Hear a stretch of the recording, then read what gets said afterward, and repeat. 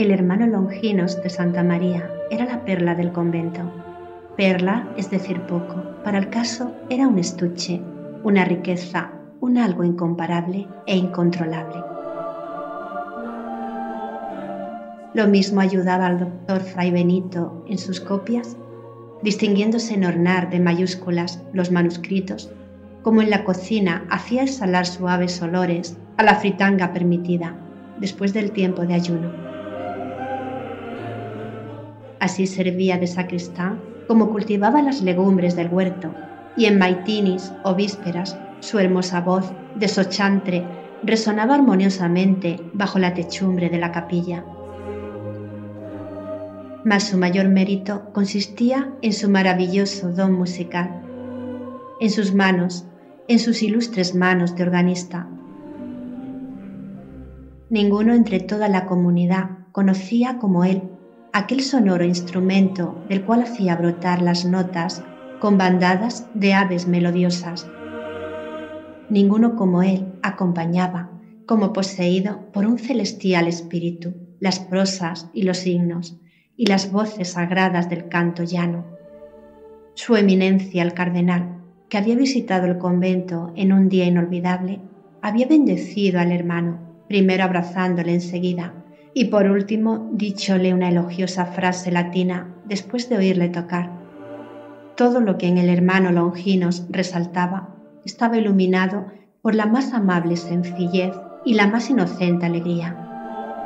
Cuando estaba en alguna labor, tenía siempre un himno en los labios, como sus hermanos los pajaritos de Dios, y cuando volvía, con su alforja llena de limosnas, taloneando a la borrica, sudoroso bajo el sol, en su cara se veía un tan dulce resplandor de jovialidad que los campesinos salían a las puertas de sus casas saludándole, llamándole hacia ellos.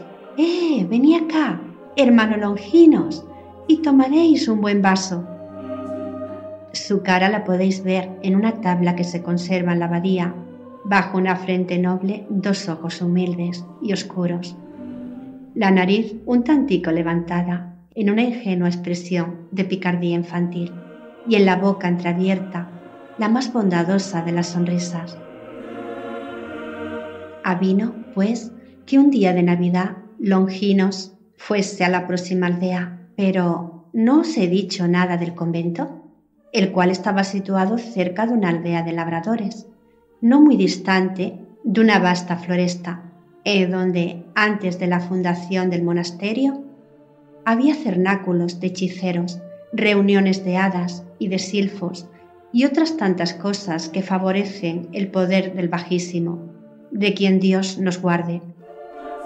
Los vientos del cielo llevaban desde el santo edificio monacal, en la quietud de las noches o en los serenos crepúsculos, ecos misteriosos, grandes temblores sonoros, era el órgano de Longinos, que acompañando la voz de sus hermanos en Cristo, lanzaba sus clamores benditos. Fue, pues, en un día de Navidad y en la aldea, cuando el buen hermano se dio una palmada en la frente y exclamó, lleno de susto, impulsando su caballería paciente y filosófica, Desgraciado de mí, si mereceré triplicar los ciclicios y ponerme toda la vida pan y agua ¿Cómo estarán aguardándome en el monasterio?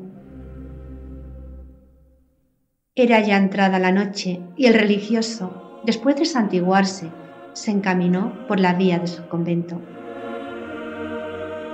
Las sombras invadieron la tierra, no se veía ya el villorrio y la montaña, negra en medio de la noche, se veía semejante a una titánica fortaleza en que habitasen gigantes y demonios.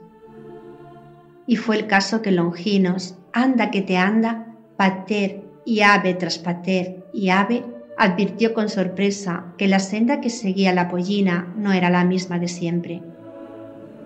Con lágrimas en los ojos, alzó estos al cielo, pidiéndole misericordia al Todopoderoso, cuando percibió en la oscuridad del firmamento una hermosa estrella.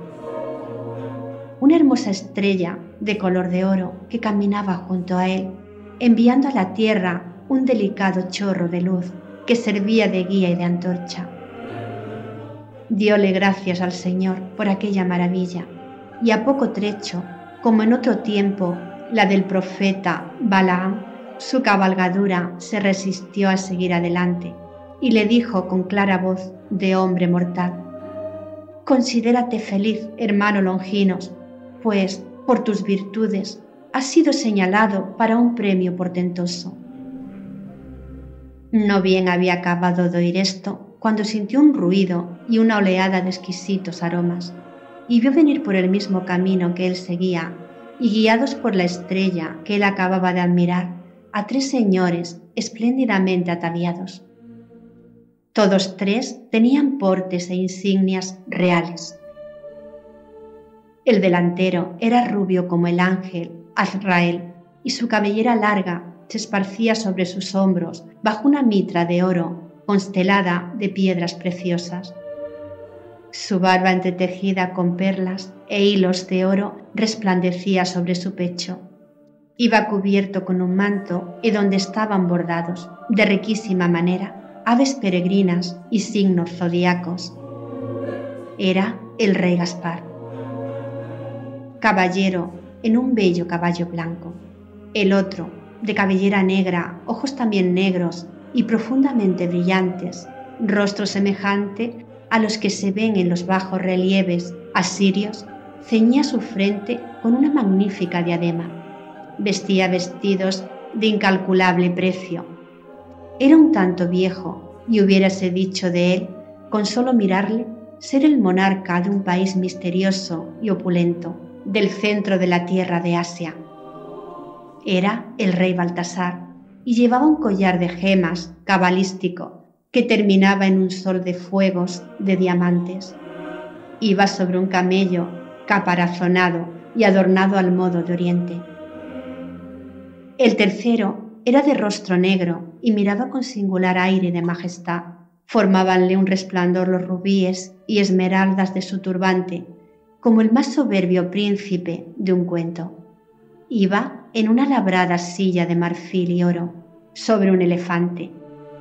Era el rey Melchor. Pasaron sus majestades y tras el elefante del rey Melchor, con un usado trotecito, la borrica del hermano Longinos, quien, lleno de místicas complacencia, desgranaba las cuentas de su largo rosario. Y sucedió tal como en los días del cruel Herodes.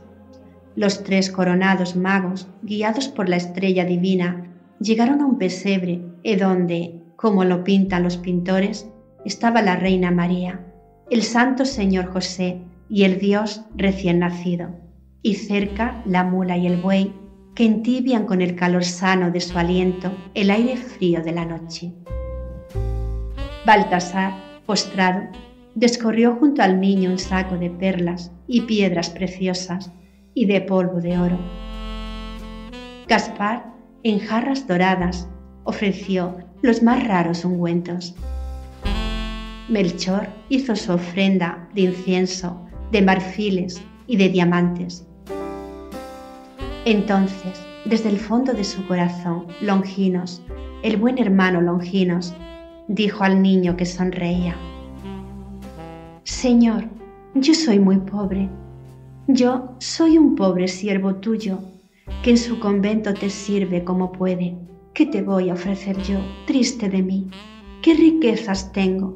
¿Qué perfumes? ¿Qué perlas? ¿Y qué diamantes? Toma, Señor, mis lágrimas y mis oraciones, que es todo lo que puedo ofrendarte. Y he aquí que los reyes de Oriente vieron brotar de los labios de Longinos la rosa de sus oraciones, cuyo olor superaba a todos los ungüentos y resinas, y caer de sus ojos copiosísimas lágrimas que se convertían en los más radiosos diamantes por obra de la superior magia del amor y de la fe. Todo esto en tanto que se oía el eco de un coro de pastores en la tierra y la melodía de un coro de ángeles sobre el techo del pesebre. Entre tanto, en el convento había la mayor desolación. Era llegada la hora del oficio. La nave de la capilla estaba iluminada por la llama de los cirios. El abad estaba en su sitial, afligido, con su capa de ceremonia. Los frailes, la comunidad entera, se miraban con sorprendida tristeza. ¡Qué desgracia habrá acontecido al buen hermano! ¿Por qué no ha vuelto de la aldea? Y es ya la hora del oficio y todos están en sus puestos, menos quien es gloria de su monasterio, el sencillo y sublime organista. ¿Quién se atreve a ocupar su lugar? Nadie. Ninguno sabe los secretos del teclado. Ninguno tiene el don armonioso de Longinos. Y como ordena el prior que se proceda a la ceremonia sin música, todos empiezan el canto dirigiéndose a Dios, llenos de una vaga tristeza. De repente, en los momentos del himno en que el órgano debía resonar, resonó como nunca. Sus bajos eran sagrados truenos, sus trompetas excelsas voces, sus tubos todos estaban como animados por una vida incomprensible y celestial. Los monjes cantaron, cantaron, llenos de fuego y del milagro. Y aquella noche buena los campesinos oyeron que el viento llevaba desconocidas armonías del órgano conventual. De aquel órgano que parecía tocado por manos angélicas, como las delicadas y puras de la gloriosa Cecilia. El hermano Longinos de Santa María entregó su alma a Dios poco tiempo después. Murió en olor de santidad. Su cuerpo se conserva aún incorrupto, enterrado bajo el coro de la capilla en una tumba especial labrada en mármol.